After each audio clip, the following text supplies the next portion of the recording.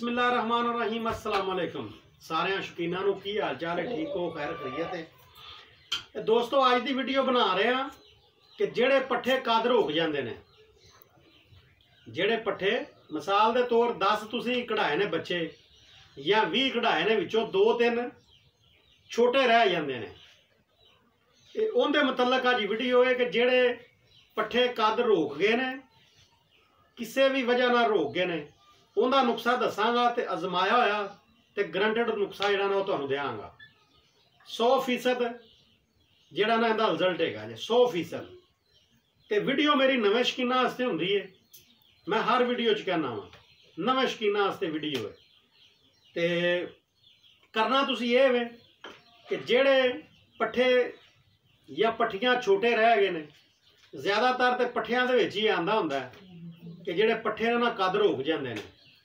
ਸਭ ਤੋਂ ਪਹਿਲੀ ਵਜ੍ਹਾ ਇਹ ਵੇ ਕਿ ਤੁਸੀਂ ਇਹ ਚੈੱਕ ਕਰਨਾ ਕਿ ਜਿਹੜਾ ਪੱਠਾ, ਪੱਠਿਆਂ ਨੇ ਤੁਹਾਡਿਆਂ ਨੇ ਕਦ ਰੋਕ ਲਿਆ ਚੂਚਿਆਂ ਨੇ, ਉਹਨਾਂ ਦੇ ਗਲੇ ਤੇ ਨਹੀਂ ਖਰਾਬ।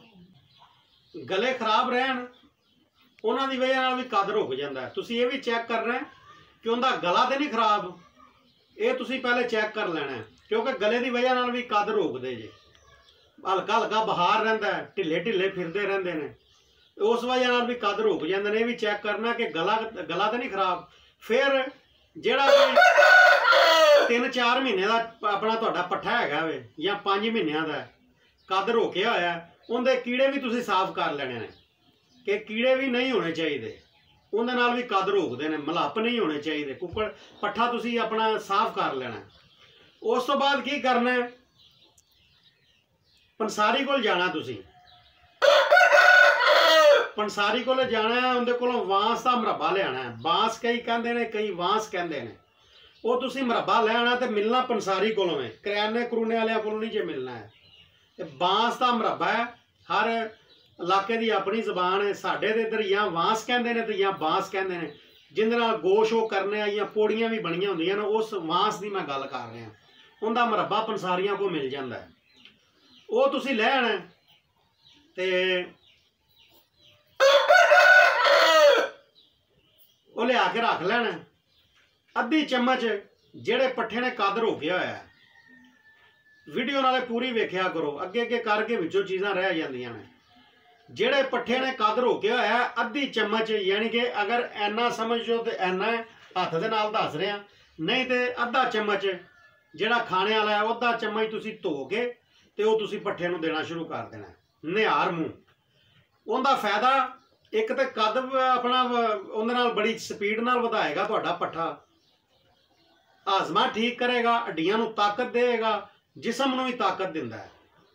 ਤੇ ਬਹੁਤ ਰਿਜ਼ਲਟ ਹੈਗਾ ਜਿੰਦਾ ਬਾਂਸ ਦੇ ਮਰੱਬੇ ਦਾ।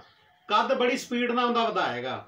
ਤੇ ਇਹ ਵੀ ਨਹੀਂ ਹੈਗਾ ਕਿ ਮਾਂ ਵੀ ਏਡੀ ਸਾਰੀ ਹੋਵੇ ਤੇ ਪਿਓ ਵੀ ਏਡਾ ਸਾਰਾ ਹੋਵੇ ਤੇ ਤੁਸੀਂ ਆਖੋ ਜੀ ਇਹ ਸੁੱਟਵਿਆਂ ਦਾ ਬਣ ਜਾਵੇ। ਨਹੀਂ ਜਿੱਡੀ ਮਾਂ ਹੋਏਗੀ ਨਾ ਓਡੀ ਪੱਠੀ ਬਣ ਜਾਏਗੀ ਅਗਰ ਜੇ ਪੱਠੀ ਕੋਈ ਮਝੂਲੀ ਰਹਿ ਗਈ, ਪੱਠੀ ਨੂੰ ਵੀ ਦੇ ਸਕਦੇ ਜੇ।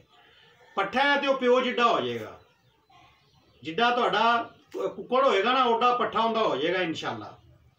ਤੇ ਉਸ ਤੋਂ ਬਾਅਦ ਇਹ ਹੋ ਗਿਆ ਸਵੇਰ ਦਾ ਕੰਮ। ਯਾਨੀ ਕਿ ਸਵੇਰ ਨਿਹਾਰ ਮੂੰਹ ਦੇਣਾ, ਖਾਲੀ ਪੇਟ। ਅੱਧਾ ਚਮਚ ਧੋ ਕੇ ਉਹਨੂੰ ਤੁਸੀਂ ਖਵਾ ਦੇਣਾ। ਅੱਧਾ ਘੰਟਾ ਉਹਨੂੰ ਕੁਝ ਨਹੀਂ ਦੇਣਾ। ਉਸ ਤੋਂ ਬਾਅਦ ਰੋਟੀ ਤੁਸੀਂ ਲੈਣੀ, ਉਹਦੇ ਭੋਰੇ ਕਰ ਲੈਣੇ ਨੇ। ਭੋਰੇ ਕਰਕੇ ਤੇ ਉਹਦੇ ਤੇ ਤੁਸੀਂ ਦਹੀਂ ਪਾਣਾ ਦਹੀਂ ਮਿੱਠਾ ਕਰ ਲਓ ਥੋੜਾ ਜਿਹਾ। ਦਹੀਂ ਦੇ ਵਿੱਚ ਰੋਟੀ ਭੇ ਕੇ ਦੇਣੀ ਹੈ। ਜਿਹੜੇ ਪੱਠੇ ਦਾ ਕੱਦ ਰੁਕਿਆ ਹੋਇਆ, ਉਹਨੂੰ ਸਖਤ ਚੀਜ਼ ਨਹੀਂ ਪਾਣੀ। ਬਾਜਰਾ ਨਹੀਂ ਪਾਣਾ, ਕਣਕ ਨਹੀਂ ਪਾਣੀ, ਸੁੱਕੀ ਕੋਈ ਸ਼ੈ ਨਹੀਂ ਉਹਨੂੰ ਦੱਬਣੀ। ਮਦ ਛੱਟੇ ਲਾਈ ਜਾਓ ਆਪਣਾ ਕਣਕ ਦੇ, ਸੁੱਕੀ ਦੇ ਤੇ ਬਾਜਰੇ ਦੇ। ਕਣਕ ਵੀ ਪਾਣੀ ਤੇ ਭੇ ਕੇ ਪਾਣੀ ਹੈ। ਨਰਮ ਚੀਜ਼ਾਂ ਦੇਣੀਆਂ ਨੇ, ਉਹਨੂੰ ਸਖਤ ਚੀਜ਼ ਕੋਈ ਨਹੀਂ ਦੇਣੀ। ਕਿ ਜਿਹੜੇ ਉਹਨੂੰ ਫਟੇ ਫਟੇ ਹਜ਼ਮ ਹੋਣ, ਉਹ ਚੀਜ਼ਾਂ ਦੇਣੀਆਂ ਨੇ। ਚਾਵਲ ਦੇ ਸਕਦੇ ਜੇ। ਇਹ ਹੋ ਗਈਆਂ ਹੁੰਦੀਆਂ ਸਵੇਰ ਦਾ ਟੈ- ਮਤਲਬ ਇਹ ਕਿ ਦੱਸ ਰਿਹਾ। ਬਾਂਸ ਦਾ ਮਰੱਬਾ, ਉਸ ਤੋਂ ਬਾਅਦ ਰੋਟੀ, ਦਹੀਂ ਦੇ ਵਿੱਚ ਭੇਜ ਕੇ ਇਹ ਦੇ ਦੇਣੀ ਹੈ। ਸ਼ਾਮ ਨੂੰ ਤੁਸੀਂ ਕੀ ਕਰਨਾ ਹੈ? ਕਿ ਸ਼ਾਮ ਦੇ ਟਾਈਮ ਉਹਨੂੰ ਤੁਸੀਂ ਜਨਾਬ ਜੀ ਅੰਡਾ ਦੇਣਾ ਹੈ ਉਬਾਲ ਕੇ। ਨਾਲੇ ਮੈਂ ਜਿਹੜੀਆਂ ਚੀਜ਼ਾਂ ਦੱਸਦੀਆਂ, ਦੱਸਣਾ ਵਾ ਨਾ, ਇਨਸ਼ਾਅੱਲਾ ਪਹਿਲੇ ਕਿਸੇ ਨੇ ਨਹੀਂ ਦੱਸੀ ਹੁੰਦੀ। ਵਾਲਦ ਸਾਹਿਬ ਕੋਲੋਂ ਬੜਾ ਕੋਈ ਸਿੱਖਿਆ, ਵਾਲਦ ਸਾਹਿਬ ਮੇਰੇ ਹਕੀਮ ਸਨ। ਤੇ ਚੀਜ਼ਾਂ ਮੈਂ ਜਿਹੜੀਆਂ ਦੱਸਦਾ ਹੁੰਦਾ ਵਾ ਇਧਰੋਂ ਐਵੇਂ ਫਰਲੂ ਨਹੀਂ ਮੈਂ ਦੱਸਦਾ ਕਿ ਤੁਸੀਂ ਮਹੀਨਾ ਦੋ ਮਿਹਨਤ ਕਰੋ ਤੇ ਉਹਦਾ ਰਿਜ਼ਲਟ ਨਾ ਆਵੇ।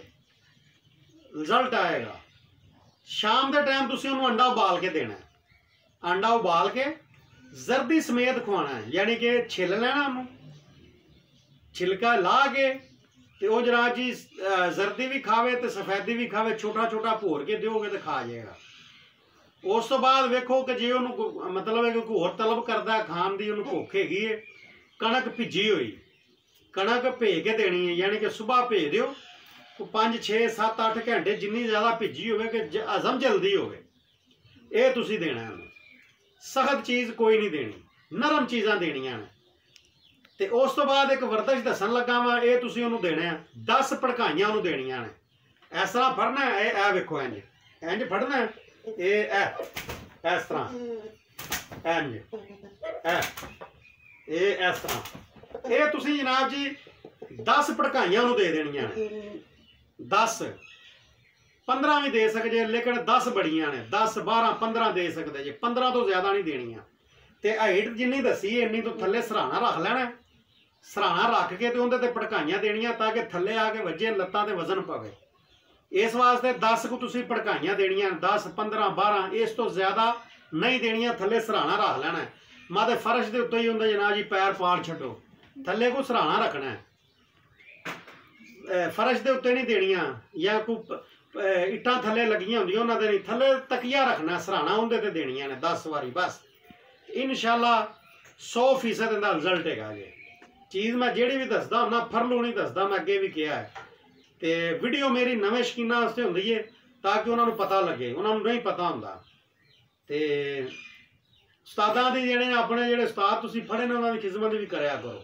ਉਸਤਾਦਾਂ ਦੀ ਖਿਦਮਤ ਕਰਨੀ ਚਾਹੀਦੀ ਹੈ ਤੇ ਇਹ ਵੀਡੀਓ ਅਗਰ ਮੇਰੀ ਤੁਹਾਨੂੰ ਚੰਗੀ ਲੱਗੇ, ਜੋ ਮੈਂ ਨੁਕਸਾ ਤੁਹਾਨੂੰ ਦੱਸਿਆ ਕੁਝ ਸਿਖਾਇਆ, ਇਹ ਚੈਨਲ ਮੇਰੇ ਨੂੰ ਲਾਈਕ ਆਪਣਾ ਸਬਸਕ੍ਰਾਈਬ ਕਰਨਾ ਵੀਡੀਓ ਨੂੰ ਲਾਈਕ ਕਰਨਾ ਤੇ ਇਹਦਾ ਹੀ ਵਜ੍ਹਾ ਸਬਸਕ੍ਰਾਈਬ ਕੀਤਾ ਹੋਏਗਾ ਤੇ ਜਿਹੜੀ ਵੀਡੀਓ ਮੈਂ ਪਾਵਾਂਗਾ ਫੌਰਨ ਤੁਹਾਡੇ ਕੋਲ ਆਏਗੀ।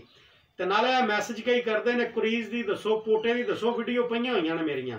ਵੀਡੀਓ ਮੇਰੇ ਚੈਨਲ ਤੇ ਜਾ ਕੇ ਕੱਢੋ, ਬਹੁਤ ਵੀਡੀਓ ਪਈਆਂ ਹੋਈਆਂ ਨੇ। ਹਰ ਨੁਕਸਾ ਮੈਂ ਦੱਸਣਾ ਵਾ। ਤੇ ਚੀਜ਼ ਮੈਂ ਜਿਹੜੀ ਵੀ ਦੱਸਦਾ ਹੁੰਦਾ, ਫਰਲੂ ਨਹੀਂ ਦੱਸਦਾ ਹੁੰਦਾ। ਕਿ ਯਾਰ ਤੁਸੀਂ ਮਿਹਨਤ ਕਰਨੀ ਹੈ, ਉਹਦਾ ਤੁਹਾਨੂੰ ਰਿਜ਼ਲਟ ਆਣਾ ਚਾਹੀਦਾ ਵੀਡੀਓ ਬਣਾਉਣ ਦਾ ਇਹ ਮਕਸਦ ਹੁੰਦਾ ਹੈ ਕਿ ਤੁਹਾਨੂੰ ਉਹਦਾ ਰਿਜ਼ਲਟ ਆਵੇ। ਇਹ ਨਹੀਂ ਆ ਕਿ ਫਰਲੂ ਉਧਰ ਸੁਣ ਉਧਰ ਸੁਣ, ਉਹਦੀ ਸੁਣ ਨਹੀਂ।